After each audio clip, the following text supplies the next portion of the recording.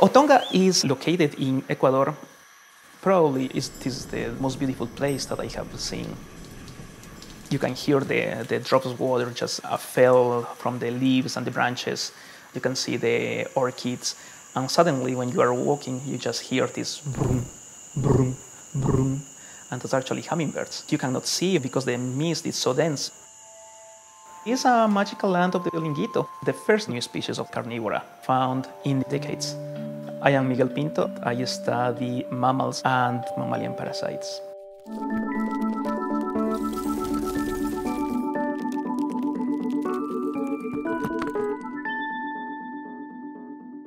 The Olinguito is a species that was discovered using uh, museum collections.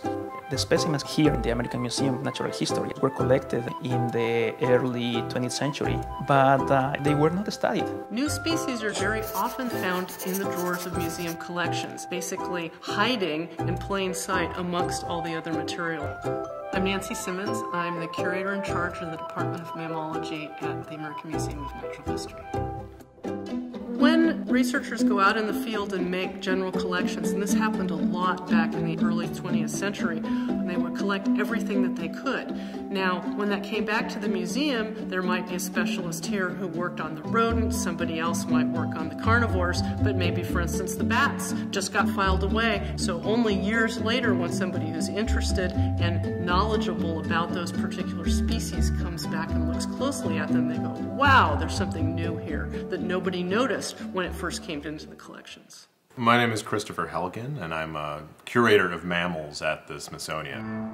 It was uh, end of the year 2003. I was working at the Chicago Field Museum studying members of the raccoon family. I pulled open a particular drawer and I saw these red-orange pelts that were so different from any other raccoon family member I'd ever seen.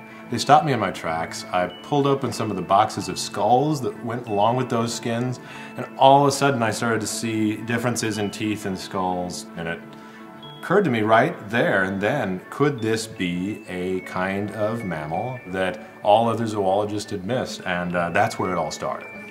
I wanted to go to every museum in the world that could conceivably have these. This was the uh, second largest holding of these animals.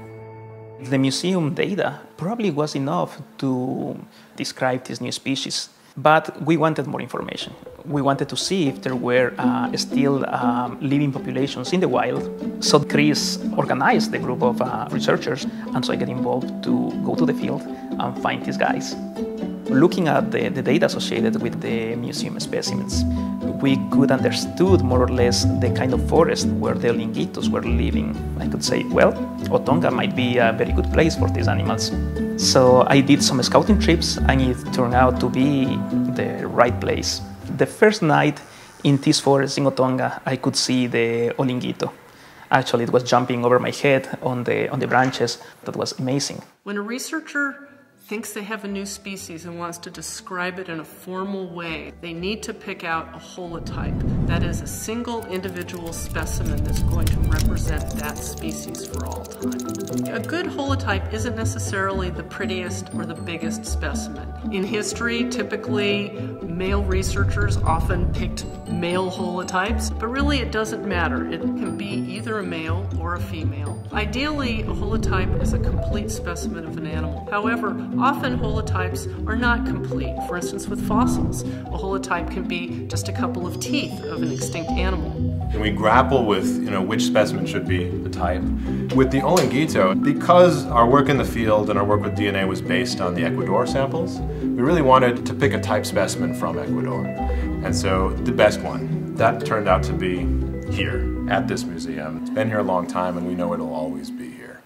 The Olinguito is by no means the only holotype of a mammal in our collections. We have over 1,200 type specimens here of things ranging from bats and shrews to whales and elephants. Holotypes are really important because new discoveries of species diversity are based on comparisons to past species diversity.